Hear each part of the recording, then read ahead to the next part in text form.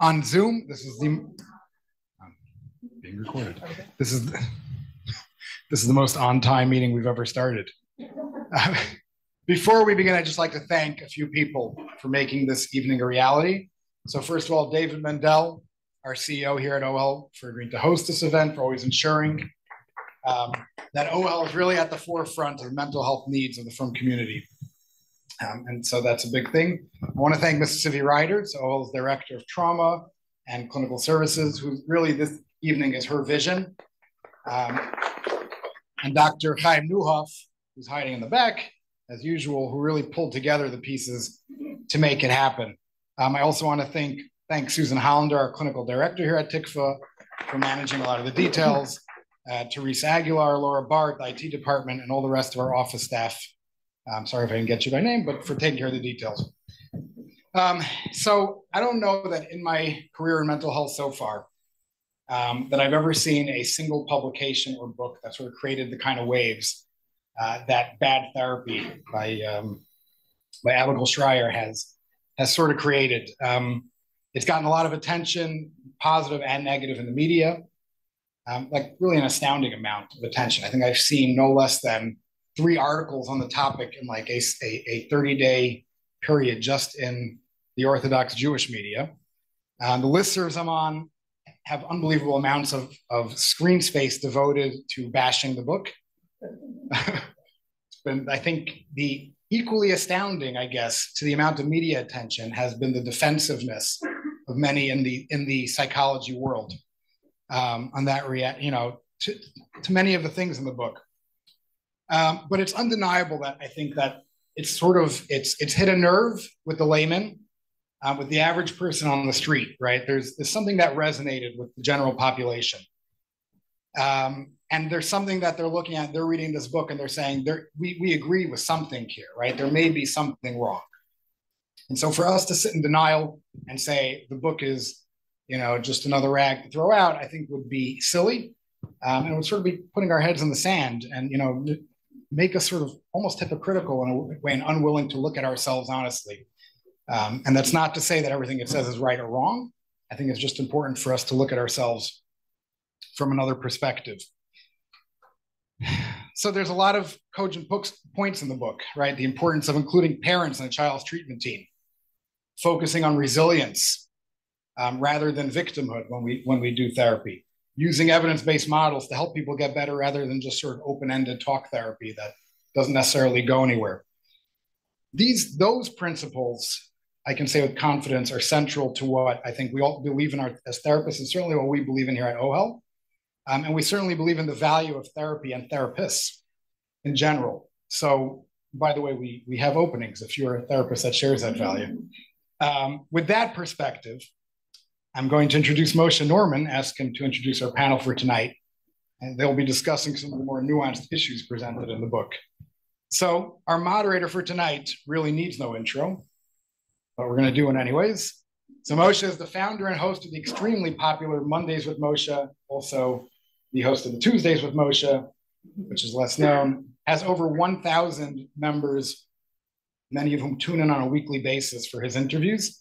He's also the founder and director of Transcend Counseling based in Lakewood, New Jersey. He practices psychotherapy with individuals and families and recently launched a new experiential therapy program for young married couples. Moshe will be our brave moderator. Thank you. Okay. Thank you, Yoshua. Do you hear me in the back? Okay. Good evening. Yes, um, bad therapy is uh, the latest rave in the community. It's been written by somebody by the name of Abigail Shrier, who is a journalist. And it's a true honor to have been invited to moderate tonight's discussion on her book, Bad Therapy Why Kids Aren't Growing Up. Before I introduce our panelists, allow me to indulge in an introduction to tonight's topic. Over the past several months, Shrier's sensational book has made great waves in the world of parenting and in the world of therapy. Admittedly, she is quite a talented and compelling writer. In reading her book and watching some interviews, I found myself particularly bewildered by her many misrepresentations of both who benefits from therapy as well as how the therapeutic process works to heal our patients.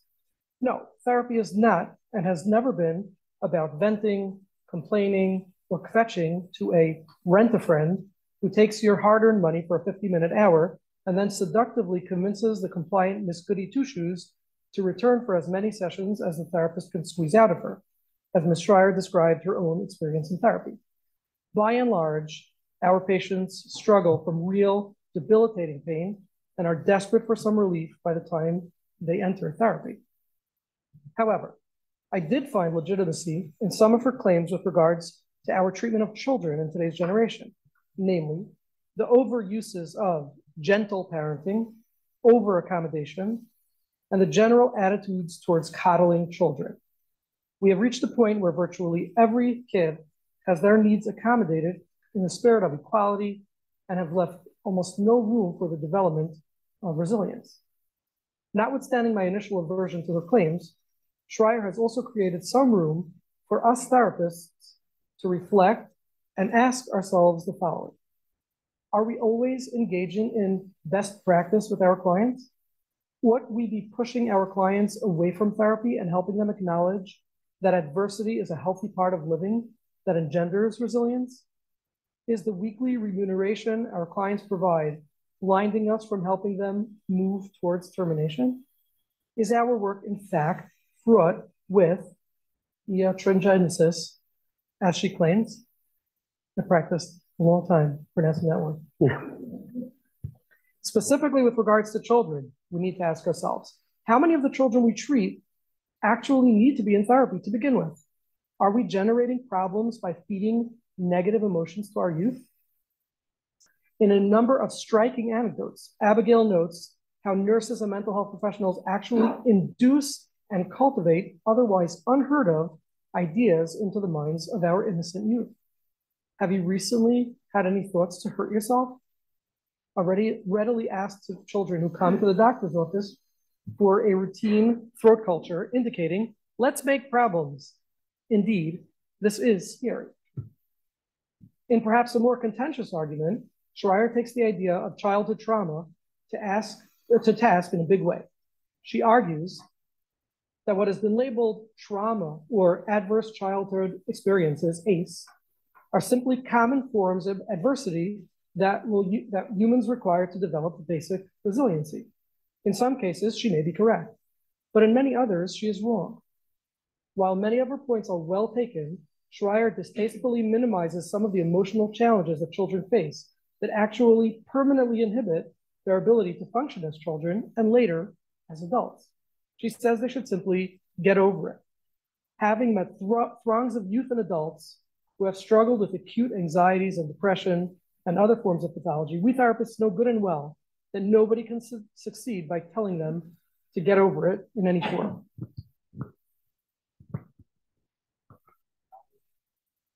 Just because, just because previous generations did not have therapy, that does not mean that our ancestors did not commit suicide, struggle with addiction and abuse, and abuse their family members.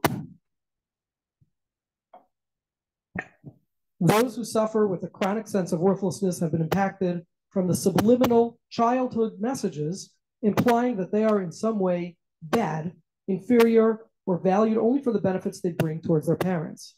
These deep rooted experiences have become so embedded in them that they need an entire new parenting experience, one that is laden with trust, respect, compassion, listening, and the many other gradual techniques that cultivate, cultivates self-esteem. Only then can they, can many of our patients begin to thrive. Nevertheless, Shrier is correct that many parents could save themselves a lot of grief if they would adopt a parent, parenting approach that includes more aggressive faith in their child's abilities, and one which can make more demands and has greater expectations. Kids can do it, but Shrier puts us in a bind. On the one hand, she advocates for stronger parenting. Parents should not be afraid of their children. On the other hand, she is against the therapy that empowers those very parents to raise their children. It is this point that will hopefully garner some attention tonight among our panelists.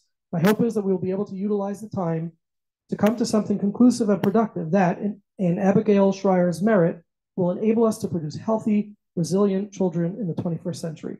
And boy, do we need it. So I'd like to introduce our panelists for tonight. First, we have on my right, Dr. Camilo Ortiz, who is the Director of Clinical Training and Associate Professor of Psychology at LIU CW Post. Dr. Ortiz conducts research on parenting, disruptive, disruptive behavior problems in children, elimination disorders, and cognitive behavioral therapy for child and adult psychiatric disorders. Dr. Ortiz is a licensed psychologist in New York State and has made a number of media appearances to bring evidence-based clinical psychology to a broader audience. Welcome. Next to Dr. Ortiz is Dr. Tali Wygod, who is a psychologist in a clinical psychologist who specializes in the treatment of children, adolescents, and families. Dr. Wygod is a certified PCIT clinician a gold standard evidence-based treatment for young children with behavior problems. Dr. Wygod is also a board certified DBT clinician. Does everyone know what that stands for? DBT? Okay. And evidence-based treatment for emotion dysregulation in children, teens, and adults.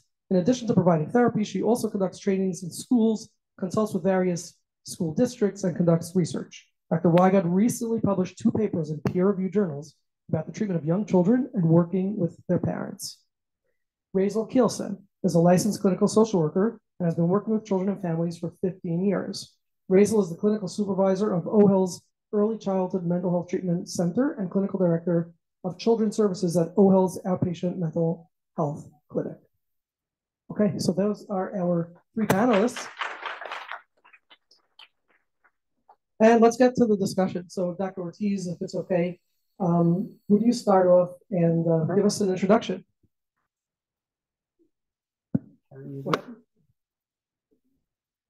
Can I use Sure.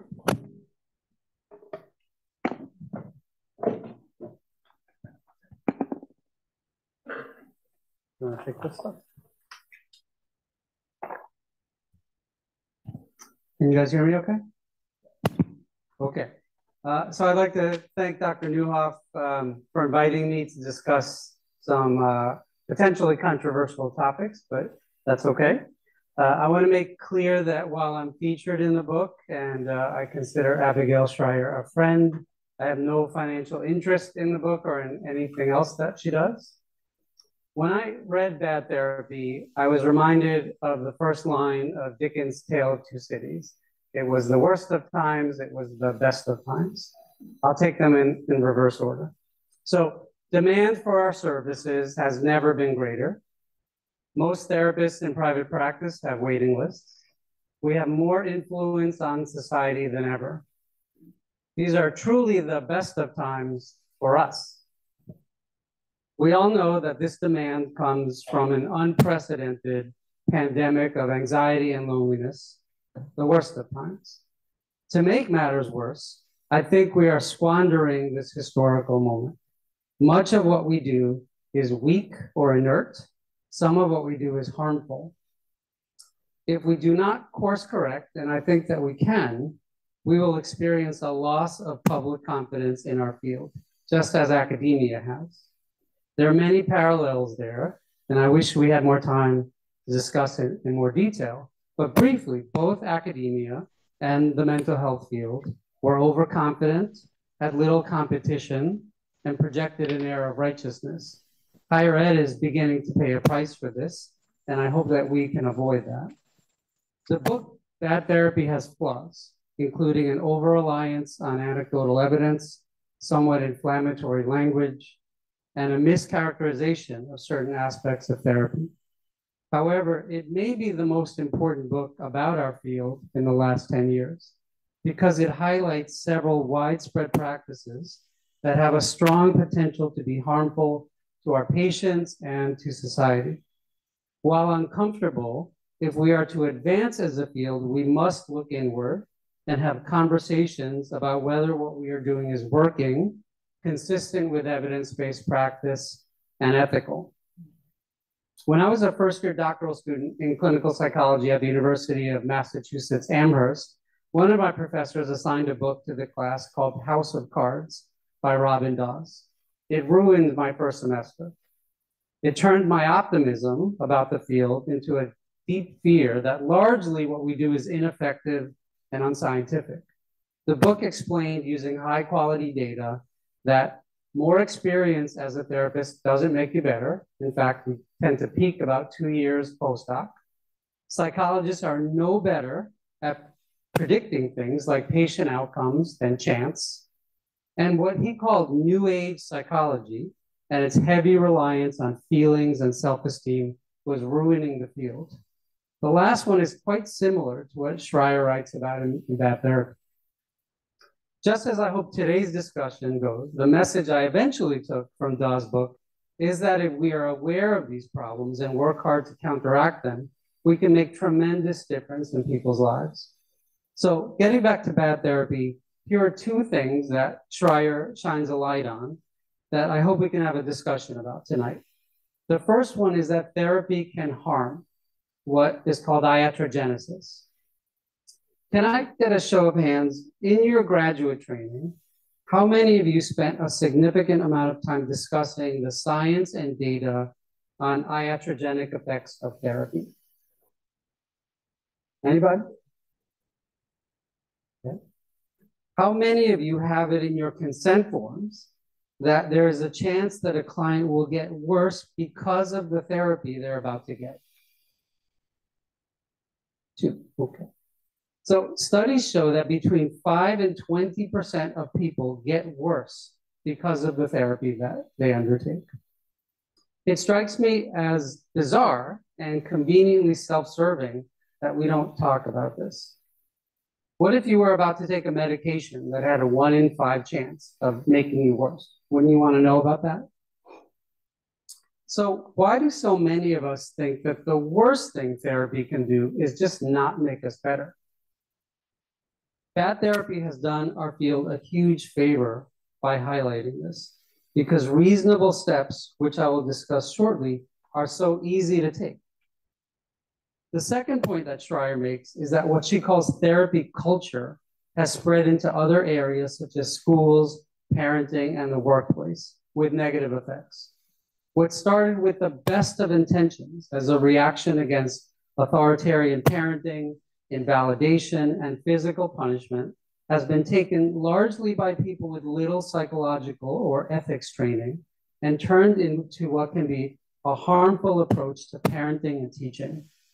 Regarding therapy culture in schools, she writes that schools are encouraging therapy, often in school, with untrained paraprofessionals who have little understanding of the dangers of dual relationships, iatrogenesis, and overdiagnosis. This often leaves parents excluded when they are told, often with a great degree of certainty that their child needs services. Social emotional learning programs have replaced classroom instruction. Assessments are made with little training, and treatment is suggested too quickly, sometimes without parental knowledge and often in defiance of best practices. For example, routine in-school assessments highlight normal negative emotions in children, bringing their attention to them and likely making them worse. In the parenting realm, which is where I do most of my work, therapists and everyone from TikTok influencers to life coaches are pushing different versions of gentle parenting which often has heavy doses of permissiveness. 50 years of data have demonstrated that while overreactive parenting is bad for kids, so is the other extreme, permissiveness.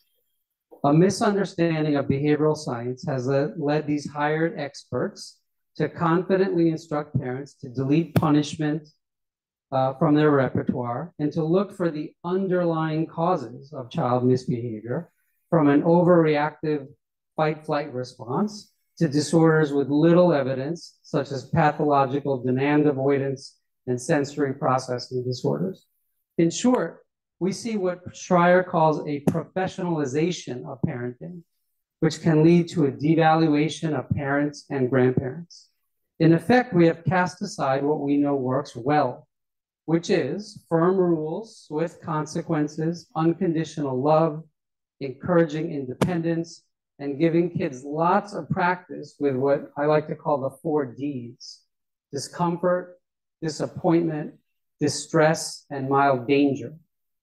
The result is that children are viewed as fragile by many therapists teachers, and parents, which is exactly backwards. Are you as discouraged as I was as a first year doctoral student? Well, here's where I give you the good news. There are multiple ways that we can practice good therapy that increases the beneficial effects of what we do. So I'm going to talk about the two areas. And for the first area, the iatrogenic effects, I'll give you four ideas. Number one, warn clients that therapy can make them worse and then look out for it. This means using objective, frequent measurements of outcome and paying close attention to deterioration and beware of convenience for the therapist solutions to deterioration like I guess the client needs more therapy. Number two, liberal use of watchful waiting so that we give people a chance to heal on their own before we get involved. Have you noticed that when people make an appointment about a month away, they often call right before the appointment and say, you know what, I think I'm not gonna need to come in. So that's giving people a chance for the normal variations of their symptoms and of mood to come back to uh, a reasonable state. Number three, be slow to interpret behavior as pathological. Much of the harm of therapy comes from jumping to conclusions about the seriousness of behavior. I had a client last week who told me that their child's withholding of bowel movements was, according to their therapist, a sure sign of sexual abuse. This is not even in the top 10 reasons why kids would withhold bowel movements. This is an extreme example, but many others come to mind. The correct explanation for behavior is often quite simple. In this case, it hurt to poop, so the child decided he wasn't going to poop anymore. There is often no deeper explanation, and looking for one can mislead. Relatedly, kids don't need a therapist because they're sad for a week or because they stayed out past curfew one time. Happiness is statistically rare, and disobeying an occasional rule, rule is the way for kids to figure out where real boundaries are. Number four, be aware of pseudoscientific therapies that have been proven to harm. Any work by Scott Lilienfeld is a great place to start in this area. With respect to the second problem, the intrusion of therapy culture into schools and parenting, I have just a couple of suggestions. Number one, refocus on parenting work, less individual child work. One of the reasons Shrier argues that individual psychotherapy with children is the most likely to harm is the huge power imbalance between an adult therapist and a child client. You minimize this by working with parents. A focus on parents is entirely consistent with the empirical evidence on effective treatments for child problems, which generally shows, especially for young kids, that parent training is the most effective use of your time. I can't tell you how often I get a call where the presenting problem is my child has big emotions and meltdowns. They want their child, sometimes as young as four, to be in individual therapy with me almost always, after a clinical interview with parents, I find that they are accidentally reinforcing big displays of emotion and tantrums with endless reasoning, validation, and reassurance. Simple instruction in a kind but firm response. I'm happy to discuss a play date with you later this week, but I can't if you're yelling at me. Miraculously leads children who have been described as incapable of regulating their emotions to speak calmly. Number two, get trained in strength based approaches that seek to get kids out of therapy as soon as possible. Here's my one plug I developed independence therapy for anxious children. Five sessions, free treatment manual, focus on letting kids do things independently without parents, without a therapist, outside of the office, so that they learn that they are capable and resilient. Preliminary evidence shows it to be quite effective. I hope the points I've made lead to questions, thoughts, and even a little disagreement as we work through these challenging and complex issues. Thank you. Well, thank you for those uh, wonderful and insightful opening remarks. Um, Dr. Tali Wygod, please.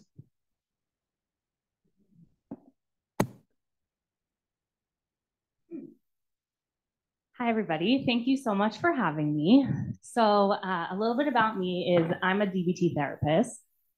Hopefully you guys know what that stands for by now. Uh, dialectical behavior therapy. So at my core, whenever I'm reading something, I'm always looking for the dialectic, which means that two opposing things can both be true at the same time. So when I was reading this book, I noticed myself, on the one hand, feeling extremely judgmental of the therapist that she was describing, the therapy that was being conducted that she was reporting, uh, and what's going on in school from her perspective. And on the other hand, as a parent of three young children, finding myself really identifying with the way that she was describing parenting trends right now, which made me take a big look in the mirror, be like, oh my gosh, what am I doing? And when I thought about that dialectic, the way that I kind of resolved that was this idea that adults, whether it be therapists, parents, school based professionals, are really fragilizing children. We're removing their ability to tolerate any emotions and what I like to call making them distress intolerant. They essentially can't tolerate any feelings, any hardship, which is doing them a disservice, which is why I think the children aren't growing up, as she talks about. So many young adults can't function, can't do anything. I heard a statistic recently that I think it was like over 50% of 22 year olds bring a parent with them to a job interview. That's really alarming. It's really alarming. So I want to talk about the ways in which uh, this this core, this fragilizing of children, kind of pervades the way that she describes therapy, the way that she describes school-based uh, intervention and also the way that she describes parenting. So the first thing in therapy. So when she's going through, I think it's like her 10 steps, her recipe to bad therapy. Um, one of the steps is to accommodate and affirm childhood emotions. So for example, she talks about how if a kid is is displaying anxiety about dogs, for example, fear about dogs or fear about public speaking, a way to do bad therapy is to affirm, accommodate, validate that feeling. And I found that to be so uh, antithetical to everything that I know about therapy and everything about the way that I think about doing therapy that it felt so alarming to me that that's what she was saying so many people are doing. So I think the first step to keep in mind is that in order to not do bad therapy, we have to really make sure that we're not over accommodating child children's emotions. So what does that look like? So again, to go back to my DBT roots, it's to validate what's valid. So for example, I have, as I mentioned, I have three kids. They're all pretty much terrified of dogs. Um, and no surprise, so is my husband, right? So it makes sense that my kids are really scared of dogs because their dad crosses the street when a dog comes by. Don't worry, we're working on it uh, crosses the street when a dog comes, refuses to pet dogs. Like that makes so much sense. And dogs are not inherently dangerous. So we need to make sure that we're validating the valid not accommodating a fear that's not actually accurate. So that's the first part when it comes to therapy, how to actually do more effective therapy. The other thing I want to mention about um, incorporating parents into therapy, which I think we're going to talk about more, is I find in my work as a as a child therapist, so many parents want to do what we call the dry cleaning method. We drop our children up off, we pick them up when they're clean. Right? That's not how this works. Therapy can't really happen in a vacuum, especially if you're six, seven, eight, even 10. You really need to address what's going on at home, as Dr. Ortiz said. The second thing when it comes to school-based intervention. So how are we over accommodating children in school? I think we could probably come up with a million reasons, a million ways in which this is happening. But I think that so many, so much of my work in schools, when I go in, I end up really teaching and orienting uh, school-based professionals to how they might be accidentally contributing to the problem. And, and when we have a child who is getting dysregulated in class, maybe throwing something, cursing at a teacher, and then they leave class, what are we doing? We're basically teaching them, okay, when you do this, you get to spend an hour in the counselor's office. So we have to really work on not accommodating what doesn't need to be accommodated and what shouldn't be accommodated and reinforced. And then the last thing when it comes to parenting. So as I said, a parent of three kids, and I see in myself, it is so hard to make my kids upset, to hold the limit, to force them to feel distress, to feel that shame when they hit their brother or flush a flashlight down the toilet, all real things that happen. And that's how they learn. I think that our job as parents and people who are working with parents, we have to train children what is effective, appropriate behavior. And if we're do if we're not allowing them to feel any distress, how are you going to learn? When I recently got pulled over and had to get a part and a speeding ticket, which was such a nightmare, so many points on my driver's license, that feeling of shame and regret and you know feeling of wasting money, that's what's going to keep me following the speed limit. And that's exactly what we need to do and train parents to do to their kids. And I think another thing that she does in the book is she's really conflating parenting experts with what we know as the evidence-based parenting intervention. So for example, when she's talking about parenting experts, the, the gentle parenting expert, I believe that she's referring to anybody who can kind of hang a shingle and say that they're a parenting expert, whether it's on Instagram or TikTok or any um, public forum like that. And when I think about parenting experts, I'm not thinking about, no offense, Dr. Becky. I'm thinking about the, the seminal authors who wrote about what's going to work, what's going to actually lead to effective behavior change at home. Like Kazdin, Patterson, Forehand, these are the people who really did the work to, you know, pave the way for parenting networks. So again, when I'm reading this book, I'm thinking a lot about how society as a whole has leaned so heavily to accommodate and fragilize children. And I hope that we can take away from that the ways in which that is really harmful and be really, really cognizant of how we might, as professionals, be contributing to that and also helping parents do that. Okay, thank you very much for those words. Uh, Razel Keelson please. But I'm going to do the brief one because I know we're excited to get into this. Um, I'm going to talk a little bit about parents bringing their children to therapy. And I think when parents come to us, they're wondering, will therapy make my child better? Am I not enough to make my child better? Is my child so messed up that I need a professional to help them? Will the therapist blame me am I really the cause of all the things that are a matter with my child? Am I giving up my right to nurture and make decisions for my child? And I think these are some of the questions the book is really stirring up with parents. And they're wondering, what is going on in therapy? What am I giving up? And I think as therapists, we need to honestly be able to answer those questions. Are we marginalizing parents or are we including them in the process? do we see the value of the parent child relationship? Do we know how to navigate a parent who seems to be undermining the process? How many of you have met the parent who doesn't believe, right? Like there's like some sort of belief system about their doesn't believe in treatment. Do we know how to work with these parents? Because it is so easy for us. And I, I'm a I practice child parent psychotherapy, and one of our tenants are do not be the better parents in the room because it is so easy to be the better parent. We are playful, we're giving positive, unconditional regard. We're not really setting limits. I, I guess it depends on your style, but a lot of us aren't. And by doing that, we can sort of lean into this parent's belief that they are not enough. They are part of the problem. We know how to do it better. And then we're missing out on the most important, impactful relationship. And really, where I think change can happen is in that parent child relationship that it's hard sometimes to work with these parents. It's hard to see maybe some of the choices they've made that impacted their, their child. But that's where the real magic in therapy can happen if we can heal this parent child relationship. So I'm really hoping today we can talk a little bit about including parents in the treatment process. And I think something that the book a little bit touches on, but it's something we really owe it to our clients to think about. Thank you the idea of tonight's discussion is really to uh, encourage participation from those in the audience, including those of you who are watching virtually. So I'd like to hear questions from the audience. If you have any questions or comments on any of the content that was shared thus far in the past 30 or 35 minutes from Dr. Ortiz, Tali, Razel, um, or myself, And please raise your hand and we'll take the question.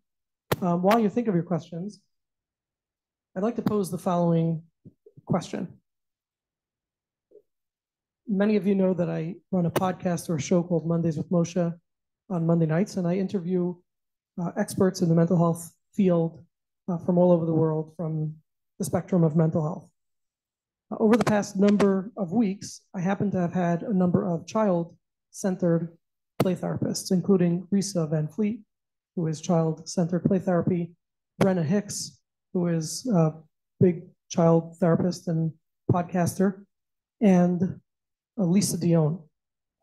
There seems to be value and merit to the concept that they shared of child-centered play therapy, which does not necessarily include parents. I'm not even sure if it includes parents at all. But in child-centered play therapy, what they're doing is working with a child who is struggling, uh, who may be struggling with their emotions because of big T trauma, small T trauma, or no trauma at all, maybe just emotional regulation. It's not to say that the therapists don't believe per se or necessarily that the parents aren't capable. And in some cases and instances, the parents, in fact, aren't capable. And in some cases, there are no parents. What are your thoughts as to something like child centered play therapy, which actually works in a very Jungian fashion and allows the child to sort of self repair and self heal? Is that something that you believe has room for in our field or not?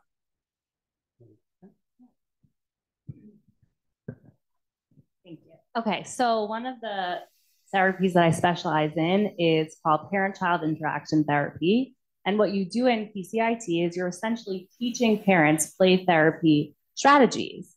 And oftentimes I get parents uh, as referrals who want play therapy because they want to, as I said earlier, kind of drop off their kid.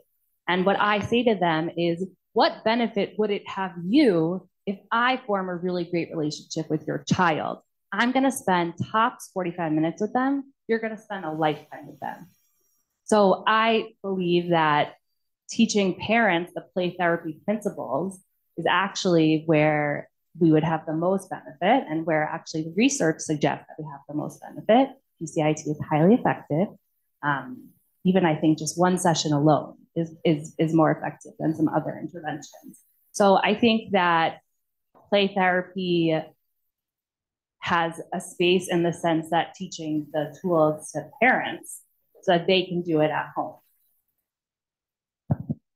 So in the work um, we do here at OHEL with child parent psychotherapy, we sometimes do not have the opportunity for the parent to be in the room because the parent might be incarcerated or the parent might have passed away or the parent, there are a lot of reasons and they can't always be here what does it mean to have a parent in the room who's not physically in the room? I think that maybe give you an idea of when I'm sitting with a child and the parent cannot be there because maybe they're in prison.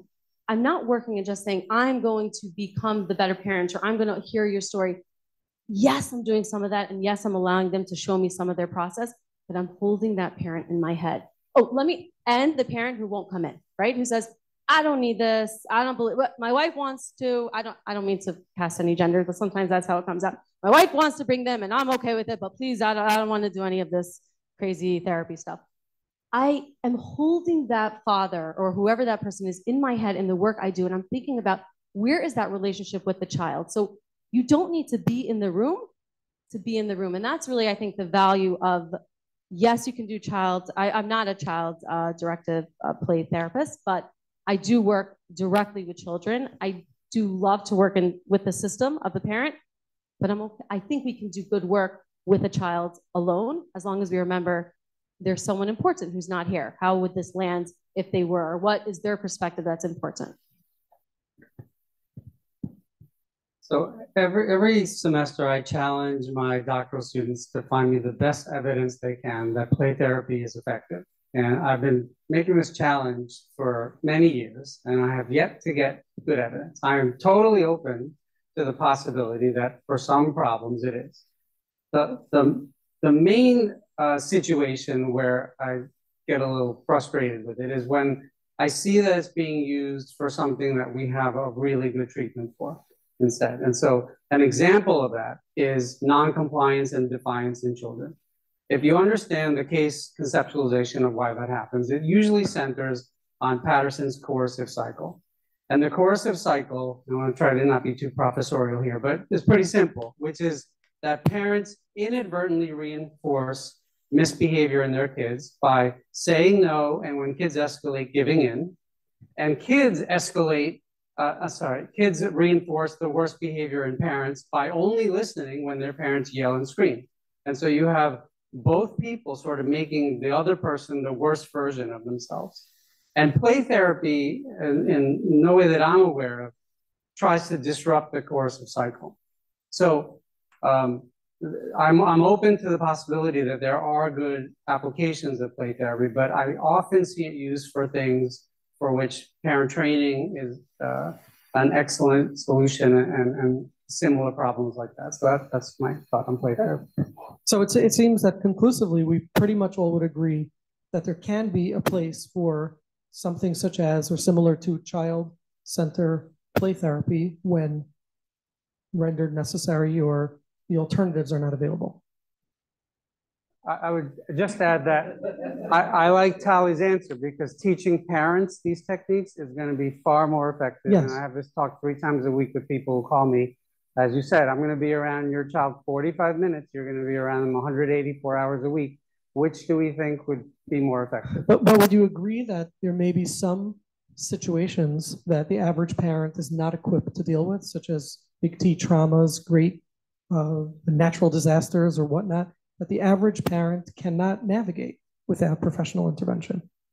I, I would agree with that. I'm just not sure play therapy is the most effective way to teach parents to do that. Maybe you guys disagree. Well, we, that's kind of what we do. um, definitely with trauma work, our goal, and again, I'm not, uh, the trauma work that I do is parent child and it is in play.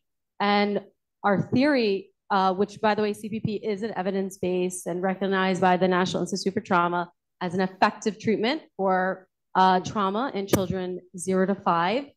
Um, really, our work is around being a facilitator of communication between the child who experienced a rupture in their attachment because they experienced a trauma. And, and what we understand from zero to five trauma is that uh, primarily it lives in the attachment relationship of I wasn't, you did, weren't able to keep me safe. And therefore the world is not safe. So we really do the work through play of retelling stories, but we help the parent see and give them opportunities. We're kind of like this interpreter. That's really how we describe it. Help the parent take the opportunity, help them regulate, to respond appropriately to what the child's saying. Hey, this really bad, awful thing happened to me. So we're kind of like interpreters, but it, it definitely happens through play because I think that's children's language. That's how they speak to us. And actually, children do this in the real world too. Like you don't, something that I think is important to acknowledge as therapists is that therapy is not the only way to heal. That children play things out all the time to make sense. Um, and they don't necessarily need a therapist, but sometimes the symptoms are so impactful that they do need a therapist to help with this play process. Thank you. Question in the back?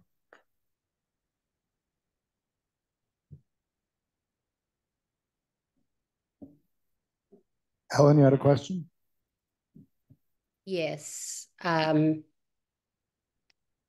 sorry. Um, can you hear me? Yes, we can, Ellen. Okay, thank you. And greetings from Nashville. Um, thank you for having this discussion. Um, I'm a clinician at a group practice here, and this book was just very eye opening for me. Um, mostly, what I am curious about um, from any of you who wants to answer is uh, the notion of uh, the body keeps the score. And, uh, you know, that book is has been a bestseller for many, many, many months. And I believe that it is feeding into what she calls a trauma culture.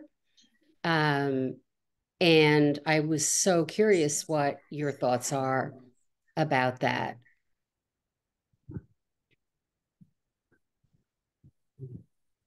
I haven't read the book. From my understanding of it, it's based on a whole bunch of pseudoscience that our muscles and outside of our central nervous system uh, remember trauma and can even pass it on to our children. That on the face of it seems silly to me.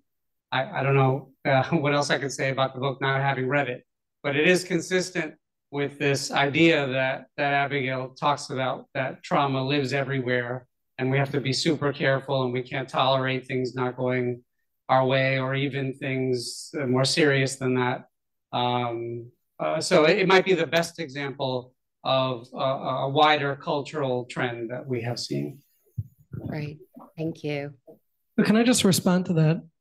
Uh, I think that it's evident from reports of our clients and patients that the body does keep the score. And um, it may you may say that it's pseudoscience or not, but all of us know that those who've suffered sexual trauma struggle with sexual performance in the bedroom. We know that their bodies shut down and the body remembers things that happen in trauma. So um, I'm curious as to your thoughts as to, you know, the pseudoscience and the non-truthness of it.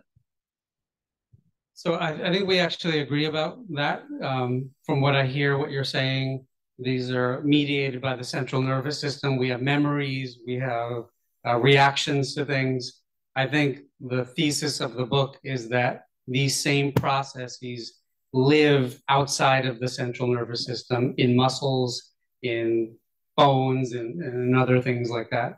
So uh, clearly, if someone's been traumatized, they're going to have a reaction to similar stimuli that were around. This, this is the basis of a post-traumatic reaction. So no disagreement there. Uh, uh, my contention is that that occurs in the central nervous system. I think, I think also another thing that I took away from her, from Abigail's presentation of that book was that the the idea that you can have trauma around memories that you don't even remember. So she talks a lot about his his theory on repressed memories, and I I, I also have another book. Um, and I've had a lot of patients talk about bring this book up when they're coming for trauma treatment, and I think that it, it's it's something to be really cautious about. Really cautious about this idea that you can have this, you know, your your I think she talked about like your back could be hurting, and so that means you were abused as a child, or that could mean you were abused as a child. And I don't I don't think that that's legitimate or fair to, you know, trauma and also people and using that as support for memories and traumatic events you don't you're not even conscious of. I'll just add one little piece, which is we, we tend to have like a really short memory in our field. So the repressed memory era was the most shameful thing that occurred in our field probably in the last 80 years. And so what I hear when when I hear things like the body keeps score is just a different flavor of the same thing. You don't know if you were traumatized, but it's in there and we need to find it. I get super concerned about therapy having that role.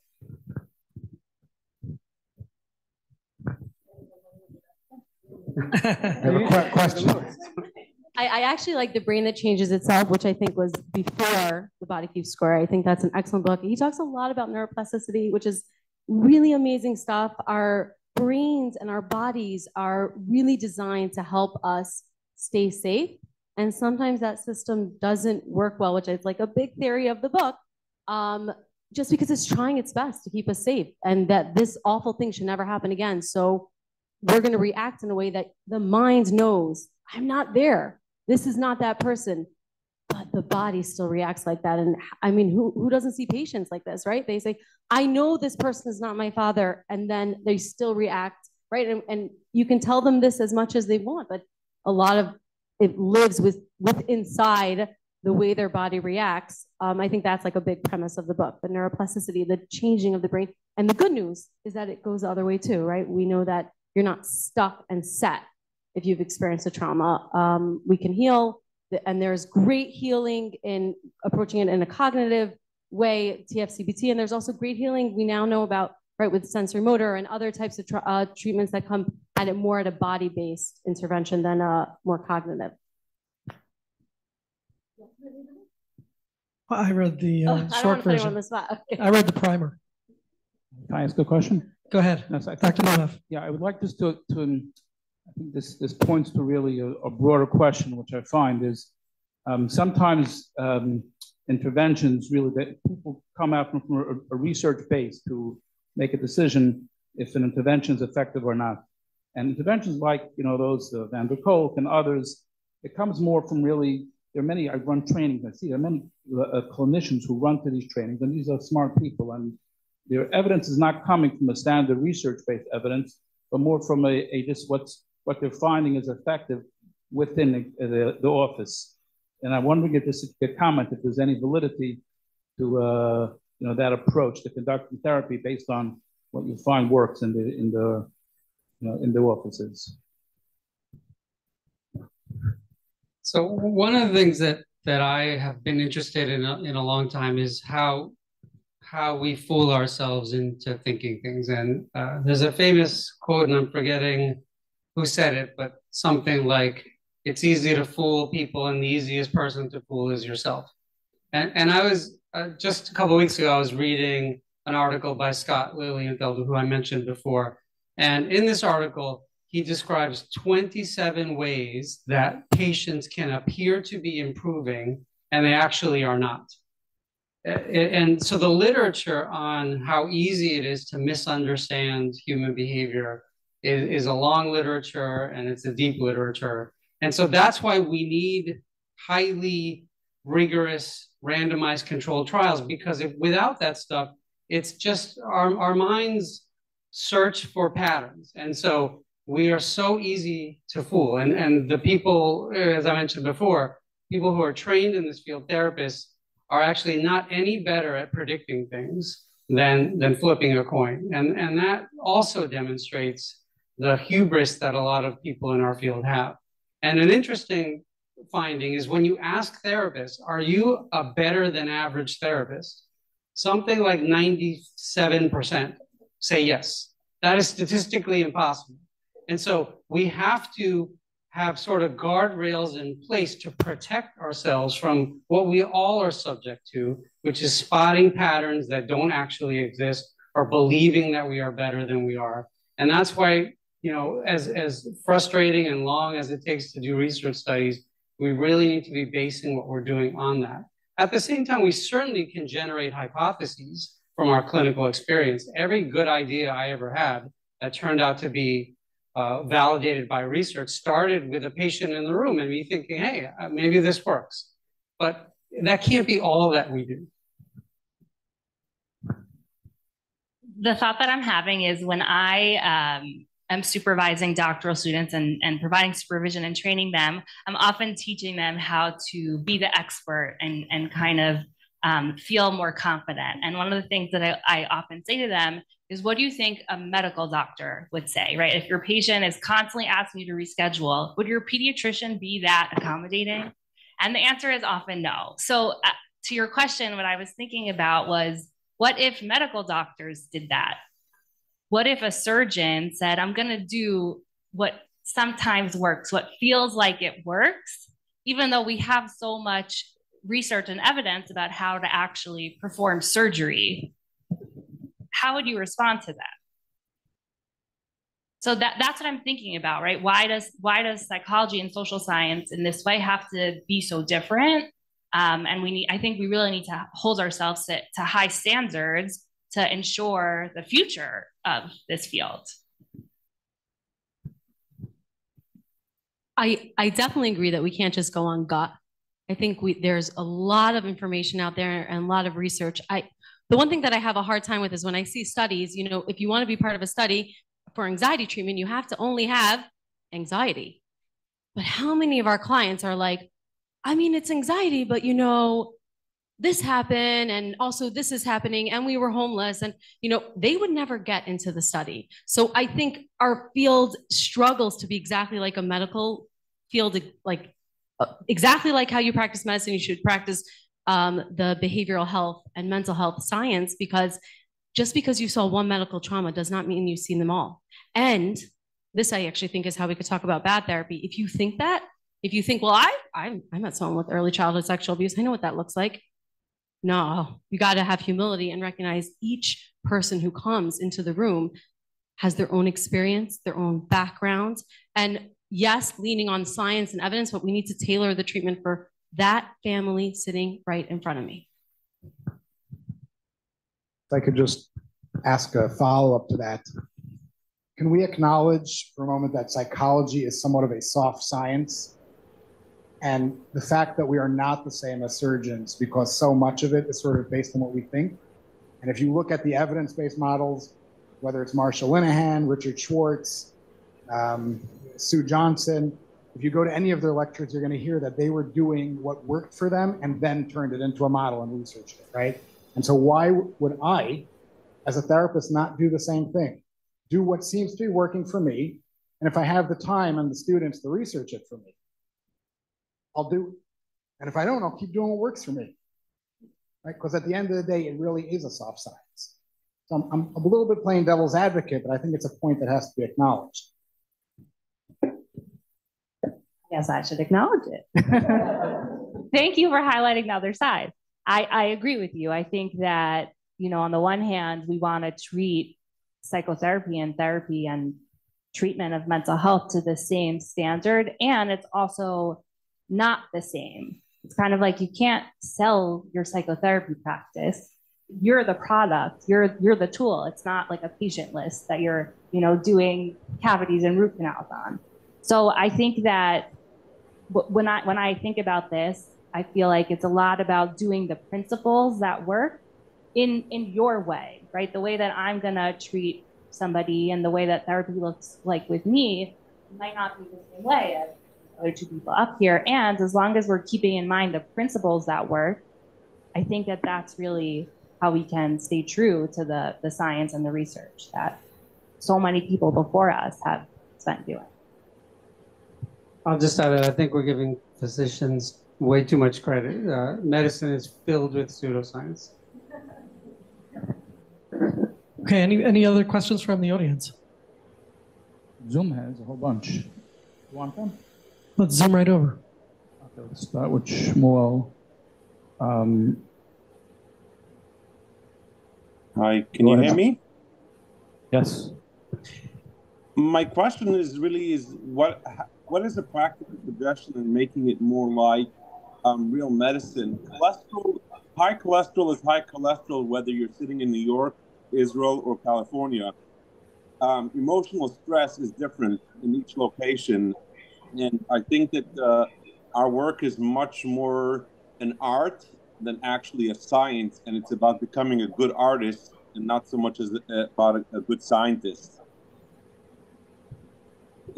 I think um, Shmuel is is um, bringing up the the um, discussion of the different kinds of therapies, the more evidence-based concrete therapies versus the more dynamic analytic-based therapies, and you know it's actually something that was, uh, I guess, hovering in my mind as this discussion carried on. You know, in so many for so many clinician or, or clinical orientations or clinician orientations, er, orientations such as myself, I'm a dynamic-based or um, insight-oriented therapist. Um, so much of what's happening is intuitive and based on the intuition and based on the relationship and in, in the healing parts of the relationship and not necessarily in something that's as concrete and measurable.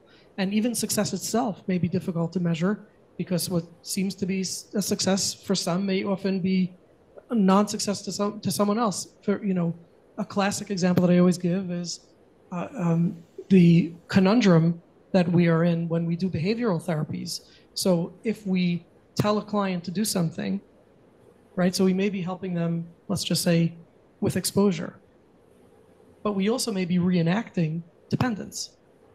So that client or that person may have, as a child, been very, very dependent on his parents or on his authority members or his significant others, and we are actually uh, reenacting that very dependence by telling them what to do. Whereas behaviorists will argue, well, let's get them to do the behavior so that they have the exposure, right? So that's a constant conundrum, and um, I think that's a great question. So I'll just say that I, I hear um, characterizations of CBT often as a therapist telling a client what to do, and good therapy, whether it's CBT or any other kind of therapy, should be collaborative. I never tell my clients what to do. I have discussions with them about whether doing something's a good idea for them. having said that, and I have to acknowledge that the science shows that there really isn't a big difference in efficacy for most problems between insight-oriented therapy and cognitive behavioral therapy. So uh, neither side should be, you know, uh, particularly um, uh, overconfident that that that what they're doing is the is the right way to do things. And I certainly have learned a lot from studying uh, psychoanalytic and psychodynamic therapists. Okay. Um, question from someone who asked us to ask it. How do you, um,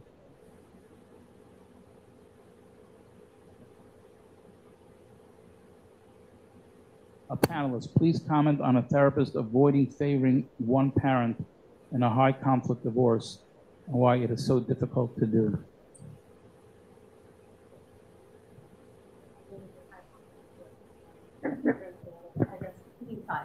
Is that what we're talking? Yeah. This is where relying on your gut is probably not the best way to go, which I guess we were talking about, you know, having that intuitive way to respond. When you get involved working with children with high conflict divorce, it's natural for everyone to pull for you to be on their side. And it is really important that you try the best you can. First of all, be in great supervision. But besides for that, it's really important that you try to be able to understand both parents' perspective, even if a parent is acting in what seems like a detrimental way. And I, I, I want to, parents can behave, and this is true with clients, they can behave in ways that you think are not helpful, you can uh, see are damaging to a child. And, and there is room for us to have conversations, you know, do you see the effects of this? But I think as therapists, we also need to hold, why is this parent doing this? Parents are really, I, I in my experience, have not met the parent who even parents who don't have custody of their children at some level have love and commitment and want the best for their child. So when you meet someone who's behaving in a way, and this is not, this is often pulled for in very high conflict divorce, then you see them behaving in a way that you're like, you are undermining this child's development. Or you're feeling like, I like this kid better than you. I'm more invested in this kid's health than you are. You need to step back and say, I need to understand why this parent is behaving in this way I just sometimes stories are helpful. Can I share working with a parent who had lost custody of a child, um, and the child came to visit, and she got into an argument with the child about wearing deodorant, and so then she took the child and sprayed deodorant on them, and I'm hearing this story and I'm thinking, oh my gosh, you never get to see this child. What are you doing? Like I, it was so easy for me to just be like, this, this is not going to go well that I could hear in that story. And I'm not saying that I didn't tell her this was not helpful, but I could hear her saying, I want to take care of my kid. I want to tell my kid that I want him to be clean. That is our job to a little bit hear what a parent's behavior is telling us about what they really want. And yes, there's room for intervention. So I think with high conflict, I know this got a little off, but with high conflict divorce, if you find that you're like, ah, mother's way better, you know, father's got a good point, really rein yourself in. Yes, there can be problems, but can I really understand both parents' perspective? Um, I don't know if the book touches on that, but that's how I would deal with it. Uh, I'd like to jump to a, a, topic in the book, which is the the um, discussion of diagnosis or diagnoses, and um, Abigail makes the point. It's not me that they're after promise. Abigail makes the point that uh, if we start throwing diagnoses around and labeling kids or adults with diagnoses, that we sort of disempower them because I have a diagnosis, so uh, you know I have an out. Um, but the truth be told is that I don't find that that to be so black and white at all. Uh, with many, many, many people, a diagnosis is one of the greatest uh, uh relief that they can hear in a lifetime if I struggled with anxiety for years and years and I watched everybody else be able to perform and I couldn't perform, now I have some context to it and I understand what it is that's happening to me. I know that there's others that have that. I know there's a name to it and maybe even an approach and a path to get to healing. What are your thoughts in general about diagnosing kids, diagnosing people? Is it overused or is it helpful? So I don't disagree with anything that you said. At the same time, if you lay out the DSMs from DSM one to the current one, they are expanding exponentially, and I am concerned about that. And my concern is that we are turning normative behavior or normative variations in behavior into a diagnosis, which once is once it's given, you can't stuff those biscuits back in the can, and uh, there could be negative side effects for that. Um, I I also agree with both both pieces of what you're saying. That on the one hand, it can be really helpful and relieving, and I also believe that it can be harmful and is at times overused. One of one of the things that I find really hard in or unfortunate in in this profession is that we're kind of bound to give a diagnosis at onset when it takes so long to formulate a case and kind of have a good sense of what's actually going on. So I find myself frustrated that I'm forced to give a diagnosis for insurance purposes, things like that, and then I might not actually be confident or uh, kind of open to changing. And this is like a working diagnosis. So I think that you have to be really careful with what information you're using to provide a diagnosis while knowing that it could be you could be overdiagnosing kids, right? So you're the example that you talked about, someone with anxiety and getting that that diagnosis and feeling that relief. I find it hard for that like a four year old would feel that type of relief or a six year old, right? I can imagine a teenager and adult feeling that kind of, oh, it's not me. There's actually a, a, a label for this.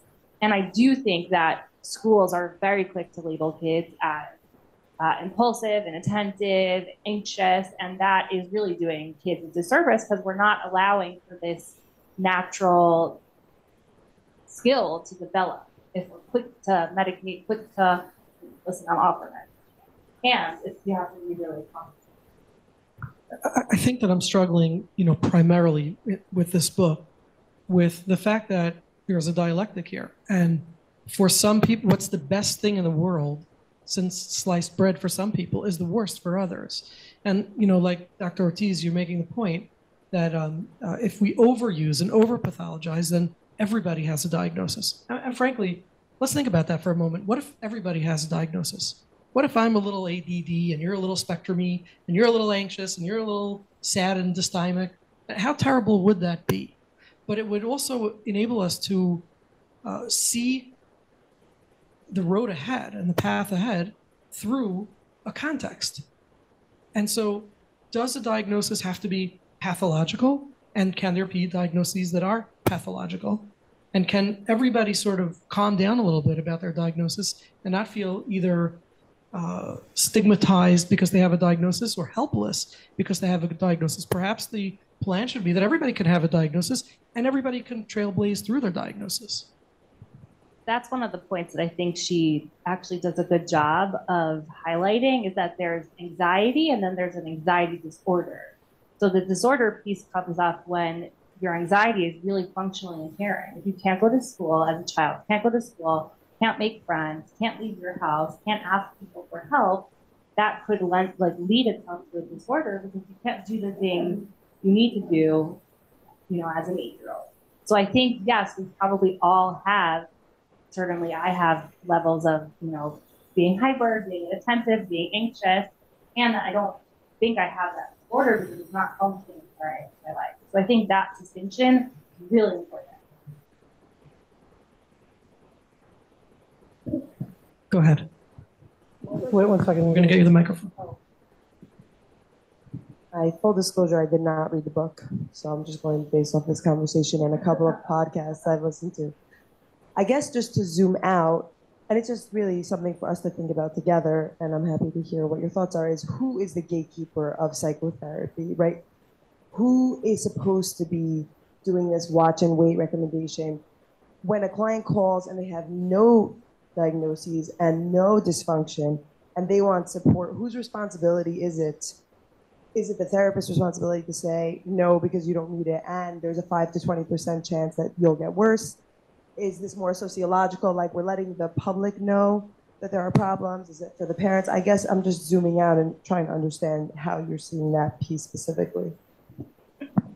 So I, I think principally we are the gatekeepers. The problem is that the contingencies are all wrong. So if you're, if you're someone, right, you're gonna make less money if you're some, you're someone who has those views that therapy should be reserved for people who have functional impairment.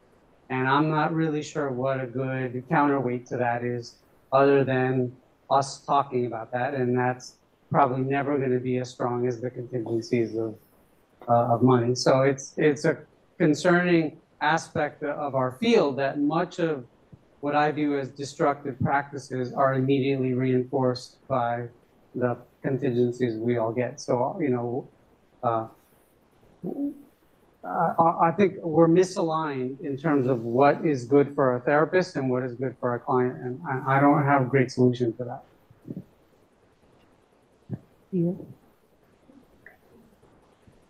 I don't know. I feel like we're not, maybe my colleagues can speak. The people that we get in our door are people who really need help. And um, we have a wait list, and uh, there are very few people that come in. And I, I can honestly say, and I do, I have colleagues that work with me. I very much do when we reach the point, um, we don't get the financial benefit the same way. So we're not rewarded. We're, uh, I guess the agency does, but we, we have a wait list and we have people who need to come in. I don't want to get, um, we have people who want to come in, and, and when we reach the end of treatment, I cannot tell you how often parents will say, but they love coming. You know, like as if that's like a treatment goal. We just have to love it. And we have conversations, you know, with family like, I know, but remember you came in like this and they're doing okay. Oh, but they still don't listen all the time, you know. And we, well, they're a kid, and kids don't always listen. So I, I just haven't seen enough people coming in that don't have the need for treatment. So it's hard for me to fully buy in that we're offering treatment to people who don't need it. I also want to say we're not good in America at being preventative. Um, so we really wait till things are bad, and that's why we diagnose it because we lean on a medical model that says, well, you have to have a diagnosis. Um, and I actually don't look at diagnosis as long term. I work again with children zero to five. I tell parents, this is how they're presenting right now, and this is what I'm going to diagnose them so I can bill. They might grow into their brain by nine. And then this could be not relevant in ADHD diagnosis. Certainly trauma. It can be very at this time, and I really hope we're going to resume, you know, this child developing in a way that's healthy and normative. So I'm not afraid of diagnosis, but I'm seeing a lot of people I think that need a lot of help. Yeah, I mean, I, have a tradition from my, my first supervisor after grad school that by the time people are coming to us, they're already, I, I think I mentioned this in my intro, by the time people are coming to us, they're already in so much pain. People aren't coming because, like, you know, what, what she called the worried wealthy. You know, they have nothing to worry about. These women who don't work because their husbands are billionaires and they have nothing to do, and so all they do is worry and come for therapy. Most of the people who are coming for us are either really struggling with themselves, with their emotions and feelings of pain, or with their children or some significant other. So for the most part, people are coming because they're coming because they need us. So I think there's an important distinction that she makes, which is children versus adults. I would say you're, you're right about adults, but um, I, I see this all the time of parents wanting to bring in their children for therapy when it's not clear what, what the problem is. One thing that I do, if we want to talk about practical solutions, with all clients, in the first session, I say to them, how will we know that we are done? And that shocks a lot of people. I'm not trying to get rid of anybody, but uh, at least a discussion of that, and then we can monitor that. And then at the end, we can decide, well, now there are some new goals that we want to work on. But if you never have that discussion, it's just so easy to keep seeing, especially the, the clients that Abigail talks about, the ones who come on time and they pay and their problems are not particularly serious. It can be a pleasure to work with those people. And it takes a lot to say to someone like that, maybe you don't need therapy. Yeah, definitely. Uh, any questions from the participants? Dr. Nuhoff? Or should we? Would uh, ask a question. There's a, a term trauma-informed care. The panelists are familiar with sort of views. Says every interaction we have with our clients or even with, with colleagues should be viewed somewhat through the lens of trauma. We need to be trauma-informed and sort of cautious of triggering people, their latent trauma at least. Um, any of the panelists would like to address their thoughts on that, feelings? How much time do you have? we, we've got all night because this one's costing me. So please address them. You- you guys- I'm gonna, speak pardon me, I- we'll probably have We trauma informed parents a lot what Dr. Perry talks about, which is not what's wrong with you. what happened to you. It's not everyone is walking around with trauma, but when I meet a behavior that seems quite strange or not helpful or getting someone in trouble, instead of saying, well, that makes no sense. Why are you doing that? Don't you see you got kicked out of school five times? Or why are you yelling at the receptionist? She didn't do anything wrong, and now you look like a raging lunatic to all the people in the waiting room. Trauma informed care tells me what happened to this person that this behavior makes sense. So I'm definitely a believer, and I do think we try really hard that when we interact with people here at OHEL, we try to look at their behavior in the context of this behavior makes sense to them somehow, and it's my job to try to understand that. And I find that having a trauma informed lens has really, really helped. So I, I think any good therapy is trauma informed and what however I, I am worried about the position that if you can't explain something it's probably traumatic response. There are a million reasons why people do what they do and we are often confused about why people do what they do despite all of our training. And the thinking that the first thought should be that the person was traumatized i'm uncomfortable. I think that trauma is also a relative term. You know, people are, like Razel said, people are, are reacting instead of responding because of things that are going on inside of them that trigger something that has a reason that it's triggered. And so, you know, it's probably a very relative term. But to move on to the next question school accommodation. So, oh, we have a question from the audience? By all means. I was just wondering if we maintain that not everybody is in is trauma, in, in when, in, and, course, not every single thing is, but when would we change from um, saying that something isn't trauma and there's something else there versus them saying, well, I've explored other things and it's it and apparently it is trauma. When when would you transfer to that?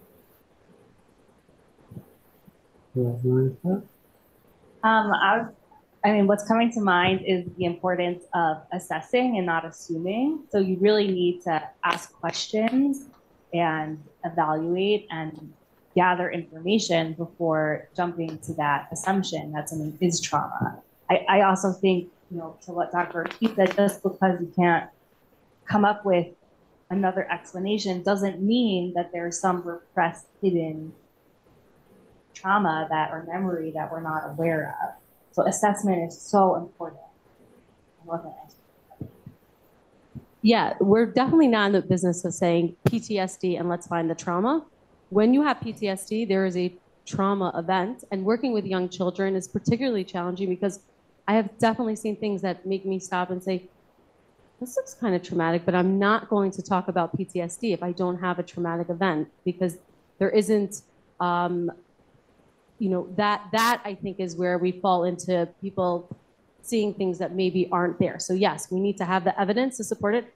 And unfortunately, there are cases where I don't ever really get that answer because these are really little kids and they can't really ever tell me what might or might not have happened. And we can still provide treatment. And it, sometimes it's really hard as clinicians to sit in a place of, I'm not sure. Um, but trauma informed care, again, is not saying everyone has trauma. It's saying that there's room to believe that behavior makes sense. And sometimes bad things that happen to people are the reasons their behavior makes sense. And I'd love to pick up on that and ask the panelists, you know, that, that precise situation that you describe, which many play therapists could swear when they see a trauma in the therapy room, in the sand, right, in the, in the play box or the game that they're playing, they can swear that they see a trauma.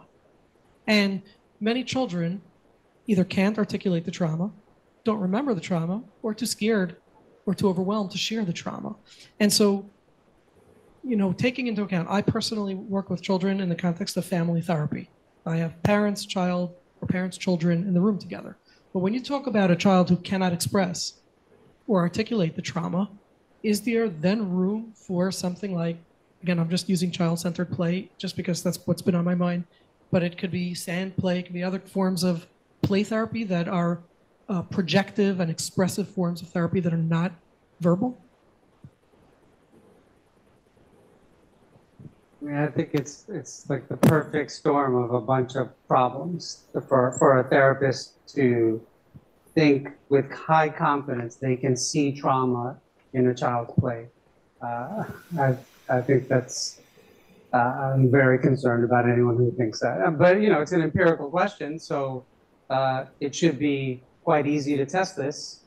Um, I haven't seen studies showing this. It sort of reminds me a little bit of um, there was there was a, a, a treatment non-psychological of um, maybe someone knows what it's called where you like put your hands over someone and it's supposed to heal them. And th- this high school student did uh, a science fair project that actually got into uh, the nature or something where she just had this box in front of people who said they could do this. And she would flip a coin and they were blindfolded and she would randomly stick her hand out from one of the two and they had their hands like this. And all they had to do was say which hand of theirs her hand was under. And they did worse than chance at, at, at this. And so, you know, there are ways to test some of these things. And I realize that this is not exactly what we're talking about, but I get concerned in a similar way when people have a high degree of confidence in their own abilities.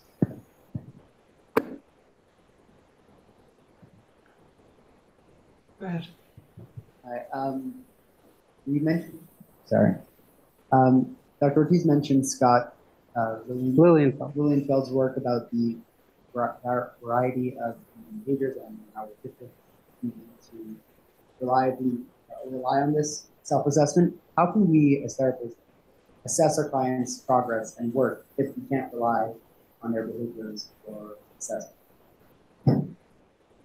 Well, it's not, it's not that we can't rely, but we should be skeptical for lots of reasons. Um, and so, for example, one of the 27 ways that patients appear to be doing better than they actually are is what he calls the therapist office effect, which is that when they're in front of you, they seem like they're doing reasonably well. Uh, however, they're not so much outside of the office. And so using objective measures of improvement is one way uh, to, to test that, that theory. Um, but, you know, being skeptical is, I think, at the, at the bedrock sort of principle, because we are so easily fooled for many reasons, including that our clients want to please us. And so being doubtful about some of the things that they're saying um, is, just, I think, a healthy place to be as a therapist.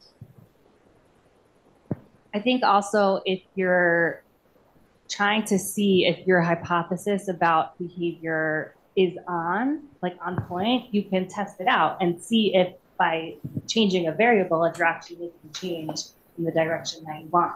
So, for example, if you have uh, I, one of my patients is a teenager who gets really, really angry at her parents, particularly when mom invalidates her, disagrees with her, and sends these really hurtful, hurtful messages to her mom. So one of my hypotheses is that if we can get the mom to stop invalidating her, then maybe that behavior will change, will go down. So I'm trying to test out that hypothesis. It's slow going because behavior is really hard. It's very hard to change to, to not invalidate your child. And this idea that changing one link on the chain could result in, in change of the actual behavior you're monitoring could give you evidence that you're, you're on track. Is that an evidence-based treatment to change one variable? I would say it's definitely part of it. Part of it's a component of evidence-based. It's not Okay. all of DBT. Yesy? I'm just thinking about the the conversation about um, um, rushing to diagnose on pathologized ch- uh, children and how detrimental that could be because the child is developing. Um, and it's not just a question about what we see, but also what we're telling the child who they are and the kind of identity they develop from our words and from our messages, and particularly um, adolescents and teenagers who will sometimes create an identity around, you know, this diagnosis. So it's so much more detrimental. Just one thought on that, which is that when we have sort of um, looked at the way that therapists are instructed to talk about people, we have gotten away from labeling someone as their diagnosis. So we don't say that person is a schizophrenic anymore. We say they suffer from schizophrenia. But lay people don't have this training. And I see it all the time in my son's friends. They label themselves based on their psychiatric diagnosis. And so I, again, get, get quite concerned about that filtering of therapy speak without the proper training into the broader culture.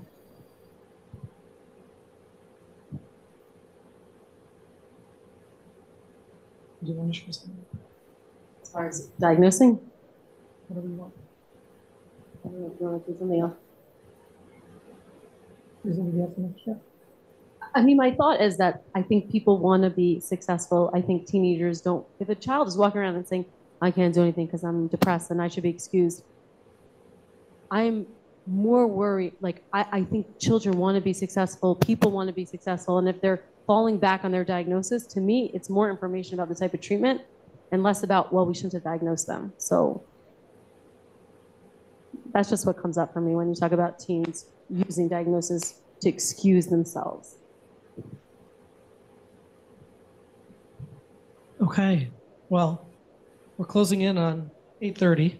Uh, If anybody has any final remarks or comments, I found this to be a fabulously insightful conversation, um, sharing, showing different perspectives and different angles, and um, uh, trying to create, I guess, a middle of some of the extreme views that you know people uh, experience when talking about a triggering, uh, heated topic, and especially when they themselves have experienced something that makes them either very aversive to it or very sworn to it. You know, you have some clients who swear by therapy, and then you have others who come and say, they swear I'll never go to therapy again, it ruined my life. And so something like this, you know, the value of this book is really the concept of, of um, reading something extreme or hearing something extreme can help you to recollect yourself and rebalance. And so I think that, you know, that's that was the goal and purpose of tonight's conversation. I think, I hope that it served its purpose. Um, I would say uh, my mom's here in the crowd tonight, and uh, on the way here, I stopped off at her mom, at my grandmother, uh, who is uh, well into her 90s, and she told me, we, you know, she asked me what, I, what we're discussing tonight, and I told her the topic, and she said, I want to tell you something I taught for over 50 years. She was a teacher here in Brooklyn and Magen David, uh, and um, she said, no child ever left my class. She taught, I think, first grade. No child ever left my class not knowing how to read or write. Never. So we know that kids can do it. You know, one of the questions I guess that that still needs to be contemplated is why is it that today's generation of parents are fragilizing the children? What's going on there? But of course, if they can't go to therapy, we'll never know. Thank you everybody for participating, and thank you to our great panelists.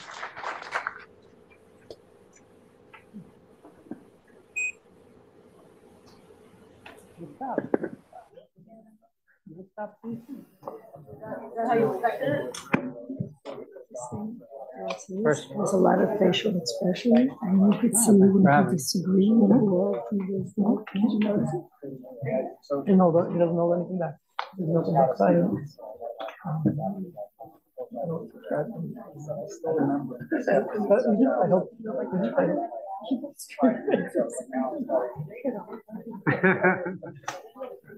very much. Sure, sure. That was great. Nice work.